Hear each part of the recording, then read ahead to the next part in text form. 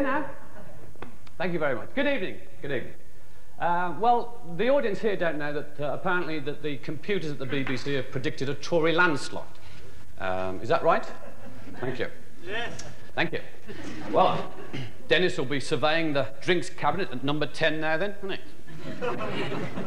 Saying to Maggie, well, dear, what's your poison? She'll say, well, Pimm's number one.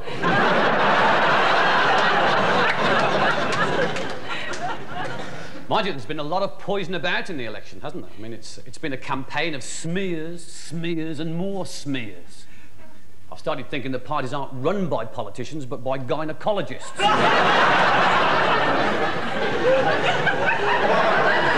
we go. Whatever happens tonight, Labour won't be having a celebration. They couldn't organise it. it was a piss-up in a brewery. The main theme of Labour's campaign has been there's a sort of a belief in a caring society. They're going to look after the old, the innocent, and the confused. and then you see what they've done to Michael Foot. now, it must be said, Michael Foot fought the good fight. He struggled manfully, he grappled, he wrestled until he was exhausted. Then, of course, along came the election and he didn't stand a chance. But the man the left loved to hate was Norman Tebbit. And I think it's time we squash that stupid rumour about him. Norman Tebbit does not eat babies, okay? Ridiculous. He's never ate a baby in his life. He's nibbled one or two, sure. Who hasn't? I mean, it's very hard work canvassing, you know. You get very peckish. The chauffeur runs out of sandwiches and you see a quivering, fleshy pink earlobe. He's only human. Isn't he?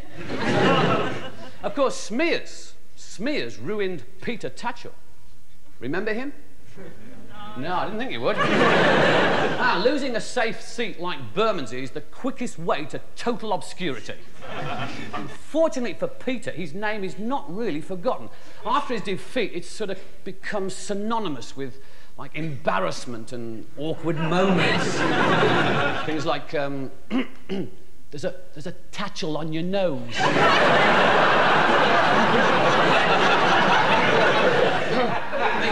there's some tatchel on your shoe. Okay.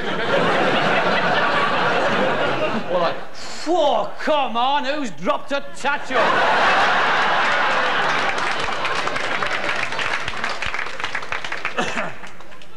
there are some strange things going on in this election, you know. I was sitting at home the other night. I was reading the Communist Party manifesto, right? Well, I like scaring myself to death.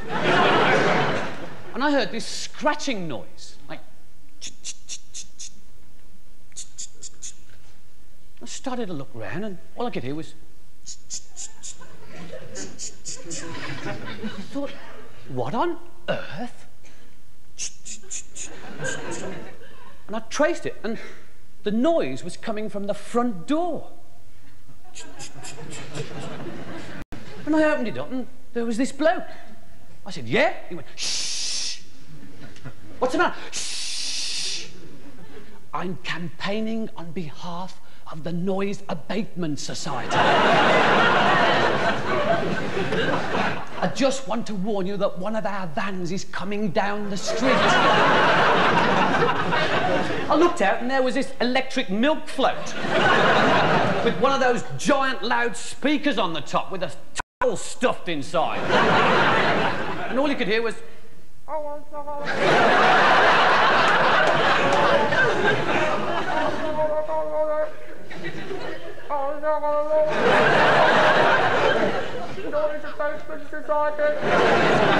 Bloke on the step was in agony. I thought I'm not standing for this, you know. So I, I turned the stereo on and put a Black Sabbath album on full blast, you know. Cleared the street in seconds. Mind you, all that did really was to encourage the Ecology Party canvassers to come along. Right? Now, the Ecology Party cared desperately for the environment. I know that because they left a heap of leaflets in my front garden. they want to abolish social security and give everybody a grow bag.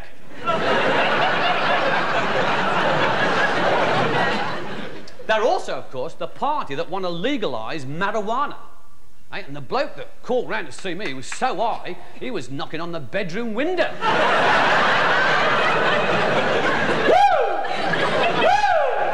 Black Sabbath, baby, woo! Why do people on grass always go woo? Thank you. Just Sit back and read your son.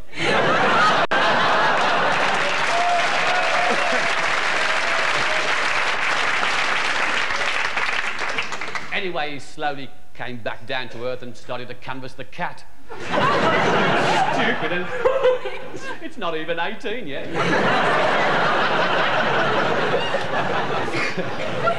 if you'd lived in Mrs. Thatcher's constituency, you could have been canvassed by A.J. Noonan, who is the Bells candidate the Ban Every Licensing Law Society. they were going to call it the Ban All Licensing Law Society. but it is Mrs. Thatcher's constituency. Doesn't like that sort of thing. I mean, what would happen if they got in? I mean, shoot, you know, they'd get rid of all the licensing laws, but then what about the rest of the policies? You know, wage increases will be held down to 4% plus what you can get back on the empties. and on an international level, it'll be sort of, uh, Okay, okay, Andropov. Okay. Th this is the deal. you get you get rid of all your SS-20s out of Europe. Um, we'll get the next round in.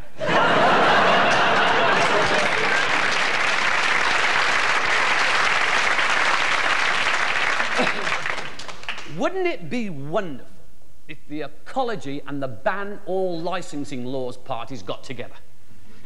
the Econo Balls Alliance. no,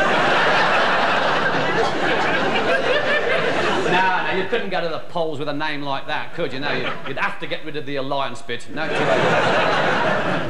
the thing that puzzles me about the alliance is that they purport to support proportional representation. David Owen said that. Well, Roy Jenkins couldn't. Wait.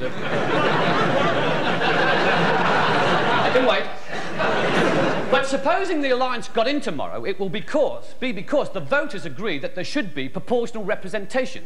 Therefore, having got into power without proportional representation, the alliance will have to bring in proportional representation, which means they'll lose the next election, because the other parties will be proportionally represented and will oust the alliance, who will then, of course, propose that proportional representation should be banned.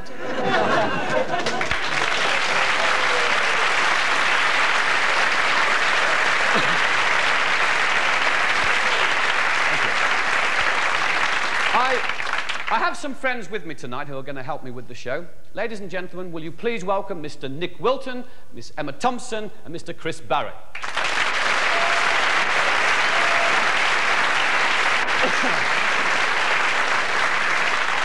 Thank you. What have you found out, Nick? Well, the trades unions don't manipulate the Labour Party like a ventriloquist does his dummy. So said union leader David Basnett today while smoking a cigarette and drinking a glass of water. uh, there is a way of cutting unemployment at a stroke, if only Norman Tebbit would have one.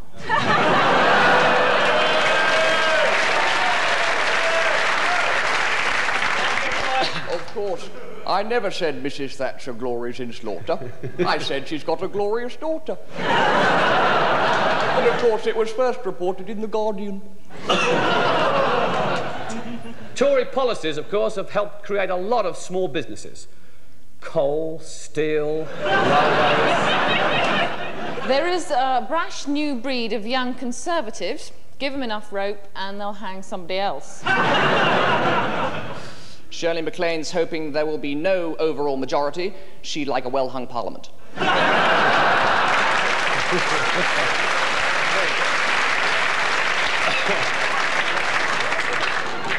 Mr. Foot has smartened up his appearance for this election. He wanted to wear something decent to be buried in.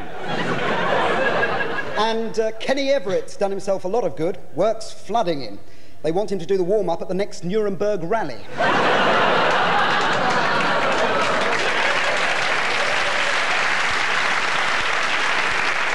that was in the worst possible taste.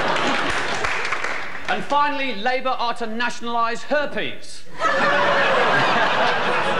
should stamp it out.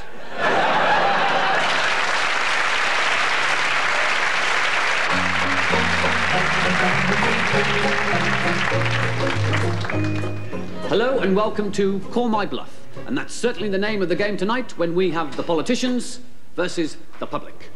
The first word goes to Mr. Foot's team, led by Mr. Healey. And it is unilateral.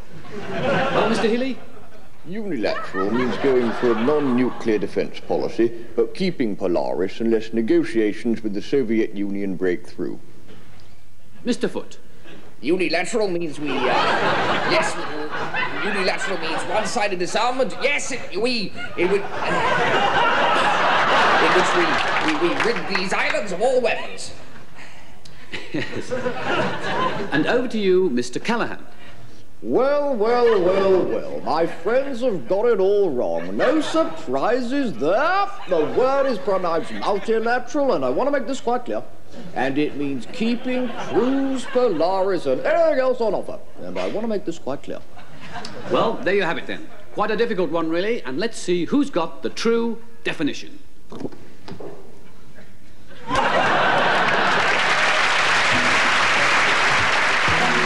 Commercial on behalf of the Liberal SDP Pact, or as it's known, the Alliance Rebuilding Society. The Alliance constitutes a real alternative to the two major parties, two minor parties. If elected, both leaders will have a vital role to play. Our Prime Minister will be David Steel when there's an R in the month, and Roy Jenkins when there's a W. Though they are not revolutionaries, what they plan to introduce is normally quite unheard of. Bill Rodgers. So what does the Alliance offer Britain? It offers a combination of socialism and capitalism. In other words, small piss of tomcat.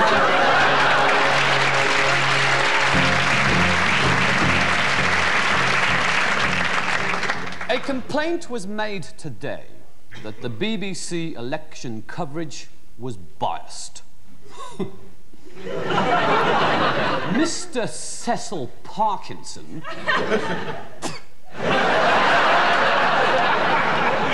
spoke of the subtle ways in which slurs have been made against, surprise, surprise, the Conservative Party.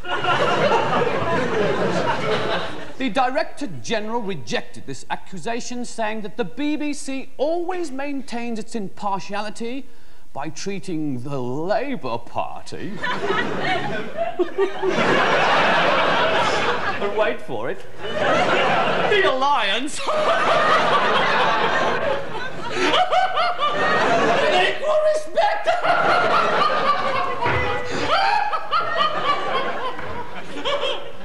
and now the main points again.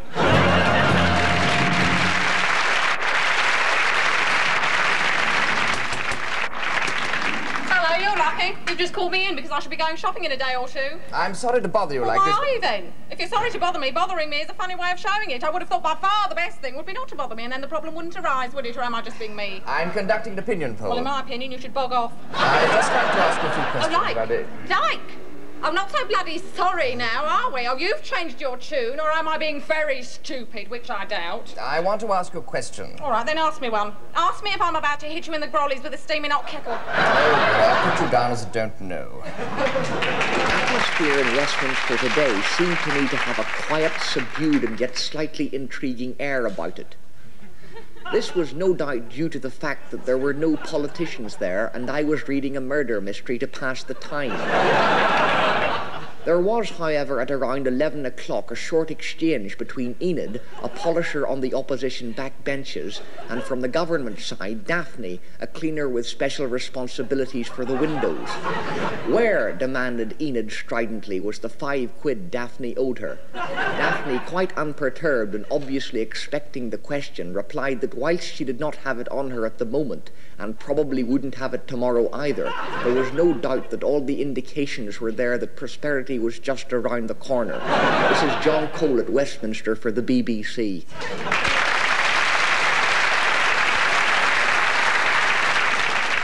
Good evening, ladies. And I begin, of course, without mentioning the gentlemen, because this initiative has got to come from us ladies. My husband was absolutely right about that. it's been a very busy time, what with my launching Women for Defence and learning what a cruise missile is, all in one week. Absolutely hectic. Tonight, ladies, we're here in opposition to the Greenham Peace Women. and not because they're dreary and rather stained. Although they are really, aren't they? I mean, let's face it. But, but, but, but, but, but, but, but because they represent a serious threat, these misguided so-called women, to the peace and security of our country. And if they had their way, the Russians would walk straight in here and start raping our children, and worse still, destroying our property. and that's why we set up this committee. We were originally to be called uh, War Immediately, but unfortunately, the initials somewhat clashed with the WI, and uh, so we've unfortunately landed up with a little bit of a mouthful. Country gentlewomen for unilateral rearmament on a massive scale. and here's the slogan, which I hope you all like, Mummies for Missiles. It's rather lovely, isn't it? Ladies, I implore you not to be fooled by these CND women. Why is it, why is it that they hold hands around an innocent country airbase? because they're lesbians.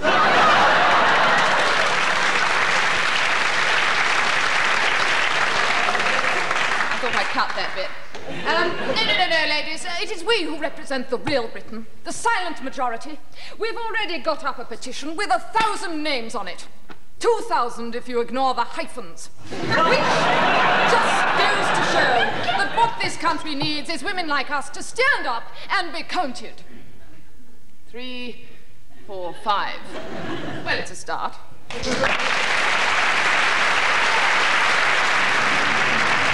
It's bigoted. Oh, bland. Patronising. I like that.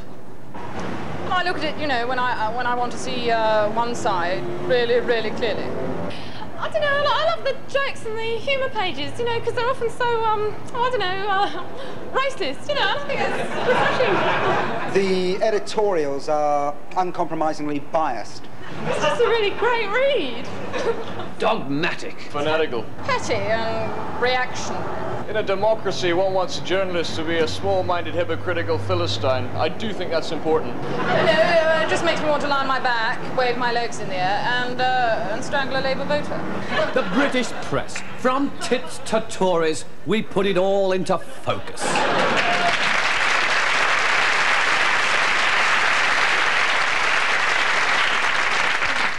Um, I've been looking through the list of some of the two and a half thousand candidates that have been standing, uh, well, some of them have been swaying in today's election.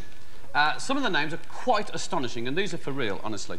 Um, in Antrim South, there's a candidate called Laverty. he was going to stand for the bog side, but... In Bolton East, there's two candidates called Alcock and Ball, while there's an SDP Dick in Dundee. Uh, the Tories are on speed in Ashford, and Labour's on pot in Bath. There's a Mooney in Lewisham, and an independent Deary in Wolverhampton. the Liberals have got a mole in Chelmsford.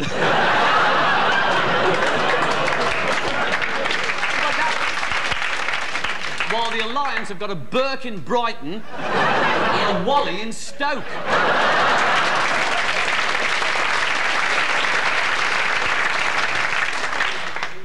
Um, I've been looking through the manifestos as well, and I wonder if the people who make up these manifestos ever wonder what would really happen if things were taken to their ultimate conclusion. For instance, the Labour manifesto states that Labour will ban all blood sports, fox hunting, cockfighting, Shirley Williams baiting. and it's interesting that under a, a Labour government, you won't be able to hunt foxes, but you can still catch fish. Now, I don't suppose that decision's got anything to do with the fact that there's four and a half million anglers who have a vote and a lot of fish who haven't. Oh, oh, angling's okay because wrenching a three-barbed hook through the mouth of a fish is totally painless. I mean, there's some poor fish out there who's been hooked like 300 times saying to himself, oh,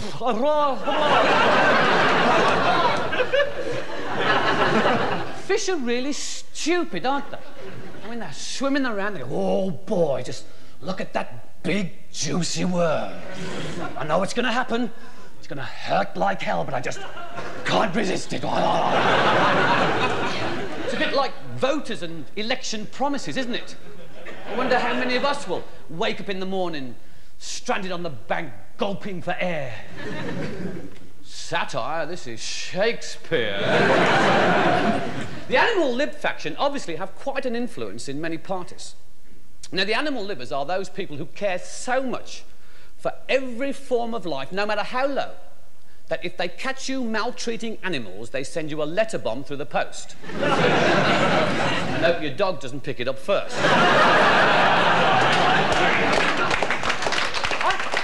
I think animals live should work both ways. I mean, we should be allowed to crap on pigeons.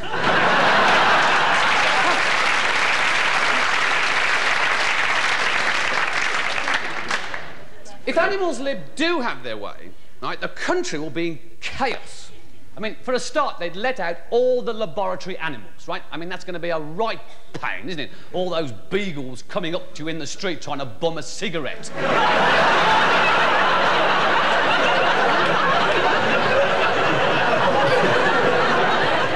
again.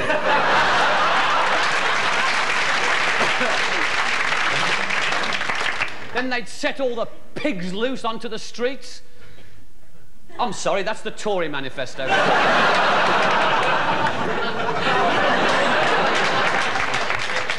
Battery hens would be released, millions of them everywhere, laying eggs all over the place until after a couple of days there'd be just one left laying. That's the battery hen fitted with the Duracell.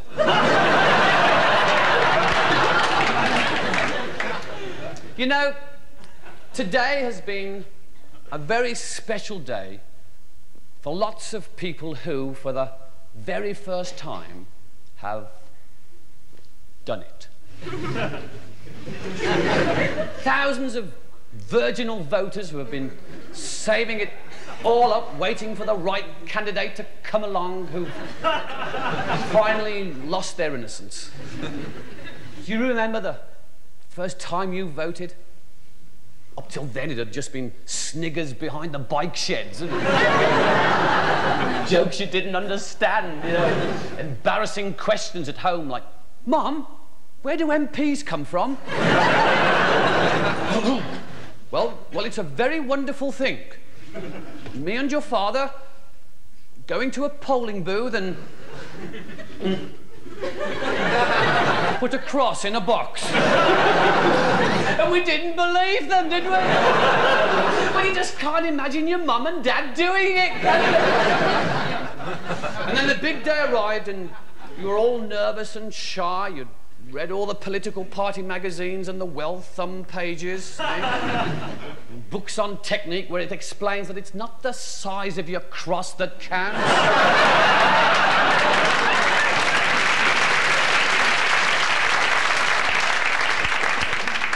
It's where you put it.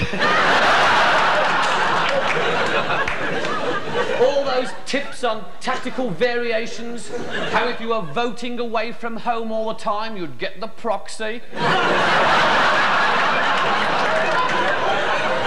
So the time comes to actually get down there, you, you go out to your car, you, you check it's the right day again, eh? You don't want to make a fool of yourself like your mate who voted yesterday because he suffers from premature election.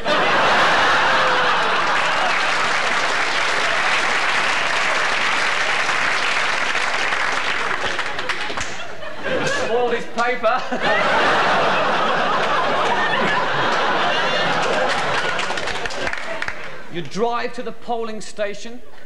The officer gives you a knowing smile. How can they always tell it's your first time? Anyway, you coyly draw the curtains, and then it's just you and that slip of a voting paper. I don't know about you, but the first time I did it, it only took 30 seconds. What a letdown. I thought, well, what's all the fuss about? I mean, you hear about blokes who can make it last for 15 minutes. How do they do it? Mind you, you can really, really relax afterwards, can you? Lean up against the polling booth, light up your post-electoral woodbine. the one afterwards is always so good. then it's back home to await the outcome. Now, all of you out there who've done it today for the first time, I know how you're feeling. Sheepish, concerned, pacing up and down, worried in case you've got the country into trouble.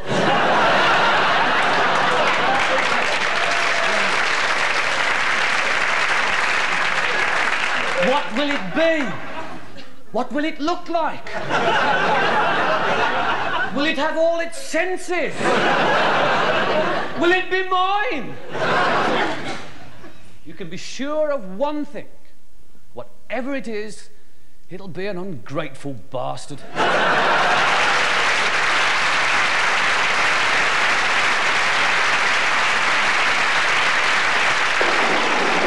From the people who brought you the most terrifying experience ever to hit the screen, now comes the ultimate collection of monsters and maniacs in Hammer House of Commons. You've seen the Evil Dead, the Incredible Drinking Man, the Owen, and the Non-Entity. Now see all these and more together. They'll plague your mind. They'll chill your spine. They'll give you a pain a bit lower down. Can you think of anything fouler? Hammer House of Commons, coming soon with full supporting program. Witchfinder General, the story of how Keith Joseph discovered Margaret Thatcher.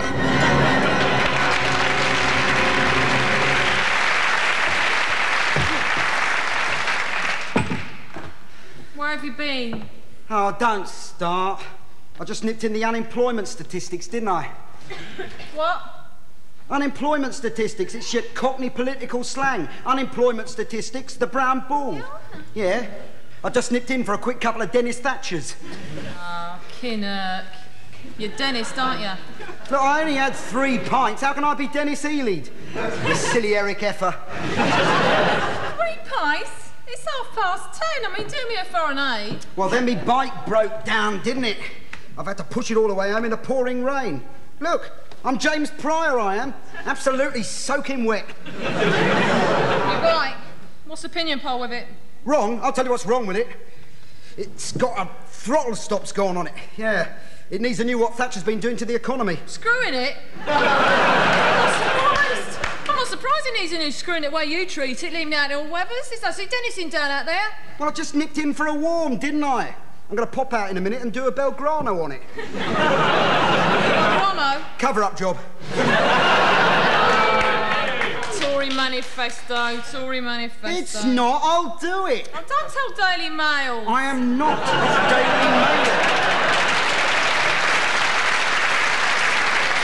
Look, I'm telling you the honest Guardian, I swear. Talk Esseltine. You're talking a pile of steaming Esseltine. Well, Thatcher me stiff. I wish I'd stayed down a pub. Don't know why you didn't. Well, I was Daily Mirror, wasn't I? Daily Mirror? The only one left? The only one left? I'm not surprised at this hour. No SDP, is it? No bloody seven-day wonder. Well, that's it. I'm off back down a pub, and I'm going to get absolutely tebbit arsed. Can't talk to him, that's what. It's a new youth opportunity scheme. Complete bleeding waste of time.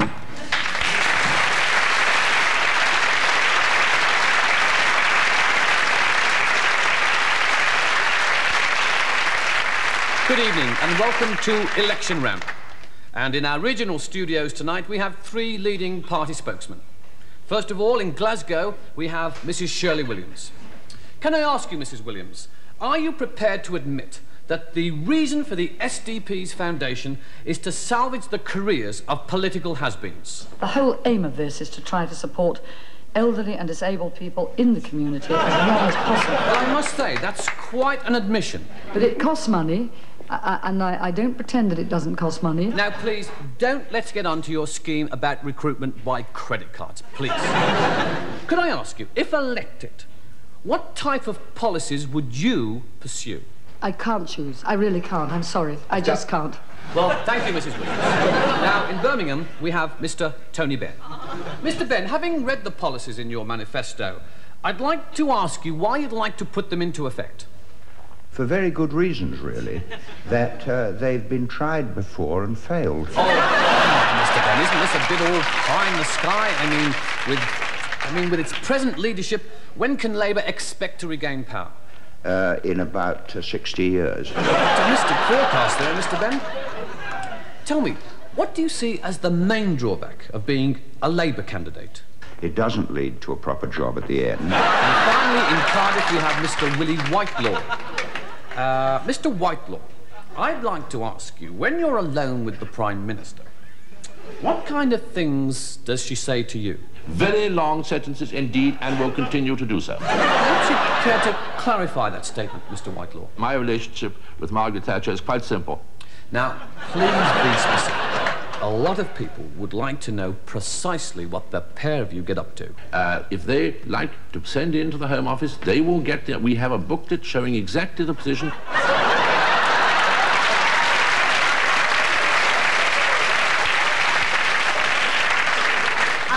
And, just finally, to illustrate what I've been saying, the average weekly shopping basket in 1979 contained this a loaf of bread, milk, eggs and cheese, potatoes, mushrooms, and a haddock.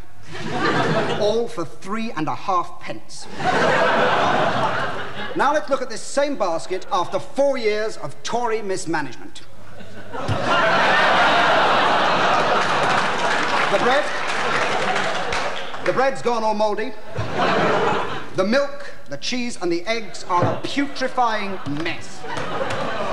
And the rest of it has all rotted into a stinking goo. Just imagine what it will be like after another four years. so, vote Alliance, and we'll give you a new bag to put it in.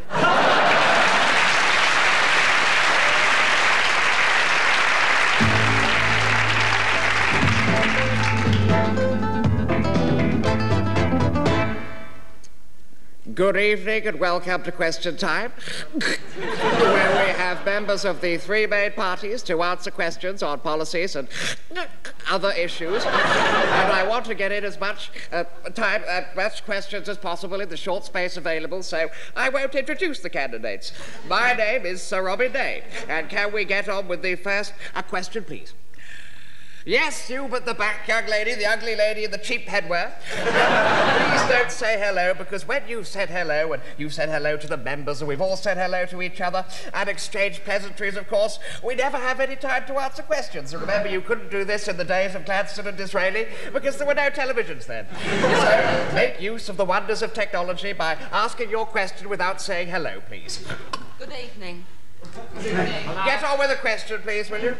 Do you think that in a TV discussion programme such as this, that the public should refrain from exchanging greetings such as good morning, how are you, and another one I think Sir Robin just covered, so as to facilitate a greater body of the programme content can be devoted to politics. Madam, the subject's been covered, for goodness sake. I said don't say hello. When I said that, I naturally assumed you wouldn't take that to include good afternoon, how are you, how's your dog, nice weather, all those, because we're pressed for time, but I do want to keep on, don't want to keep on reminding you about brevity, because time is short, and reminding you about brevity takes up a lot of valuable time. Can we have our next question, please? Thank you. The gentleman in the blue dress sitting behind the man with...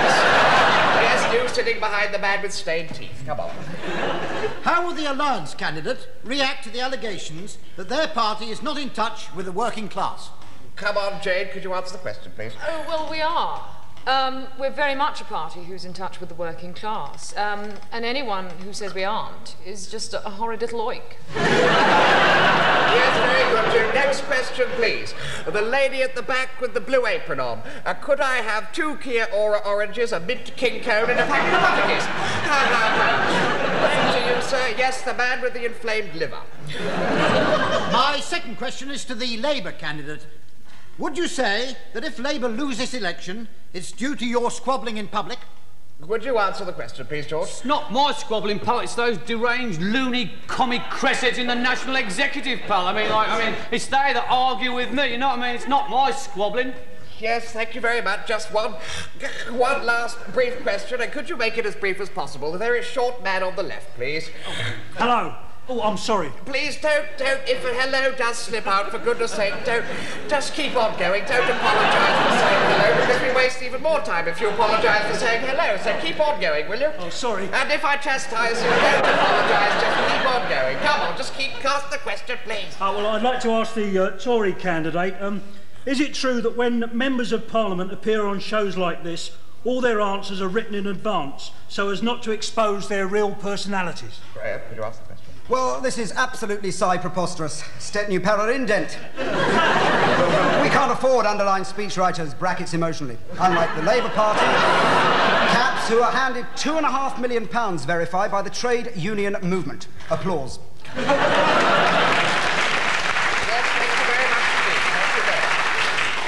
To cut in there, Graham. I'm beaten by time once again. I won't waste the remaining seconds by thanking everybody. I think you'll all agree. I think we've managed to cram a lot of election discussion into a very short time. Uh, my name is Sir Robin Day, and I won't waste any more time by saying good night. Oh dear, I don't have a watch, but I gather that we appear to have finished 54 minutes early.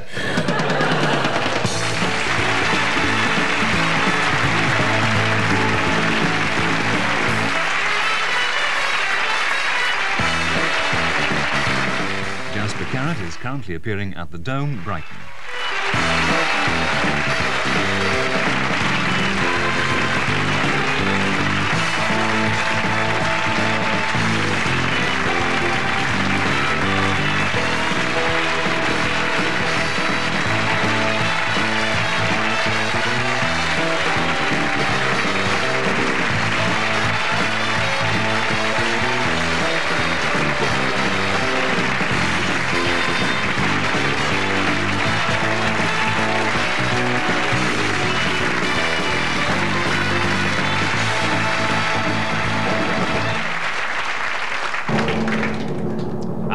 Nominations for the 1983 general election are Best Performance in a European Role, Roy Jenkins.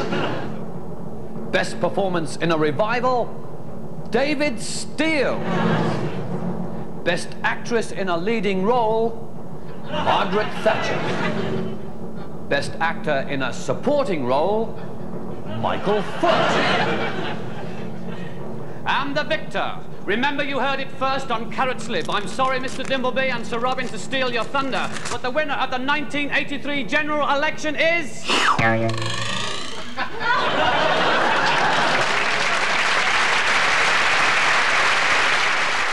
Well, all is about to be revealed in the all-night election 83 results service next on BBC.